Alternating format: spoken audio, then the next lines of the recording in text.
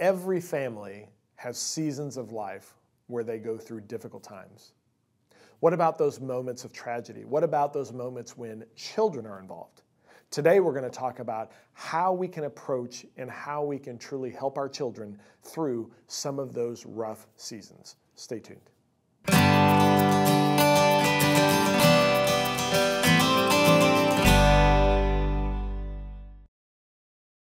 One of the most frequent questions that I get as a pastor um, typically comes from families, and it's what happens in the midst of tragedy and how do we help our children, um, our, our kids, our teenagers deal with despair or deal with tragedy.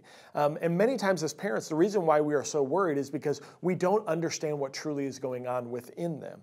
There was a study done some years ago of 3,500 children over a period of about six years. And what the, the, researchers were trying to figure out is, is what was the effect of tragedy upon them? Would our children, those children through that six year period, would we see them be able to handle tragedy and be able to then move through in a healthy standpoint to be able to access the, the typical aspects of life?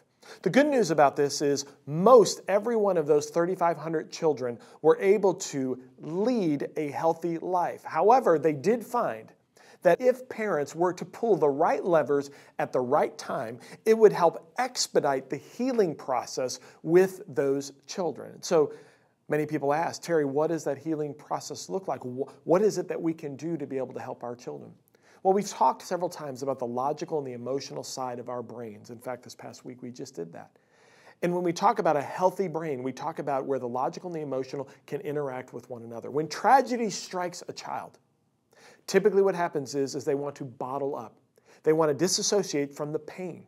And so what they're doing in their brains is, is they're moving away from their emotional and they're moving typically to the logical. Now, there are cases to where they do the opposite, where they move to the emotional and they just really can't cope and they move away from logic and they move only to emotional. In those instances, we see a disrepair. We see two areas of the brain disconnect.